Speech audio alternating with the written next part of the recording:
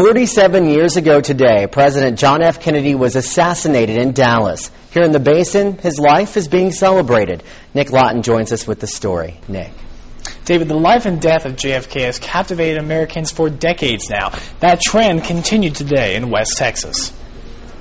Presidential Museum isn't usually open on Mondays, but they open their doors today in honor of an American legend. I think every anniversary uh, is, is a time to remember. In a museum that was already dedicated to the memory of John F. Kennedy, history jumped off the page with old newspapers, photographs, portraits, and notes, all from the tragic day of his assassination. I think the exhibit is simply more to remind people of the legacy of uh, President Kennedy. We have uh, several portraits of, uh, President Kennedy. We also have several pictures. Every piece of the exhibit tells the same 47-year-old story, but still powerful nonetheless.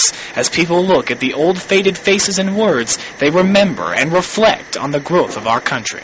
It had to do with the times in which we were, in which we were living and the uh, and the love affair that the American people were having with uh, both the president and his family. And that consistent fascination is just fine with Director Cotton. He's counting on it to cement our past in order to protect our future.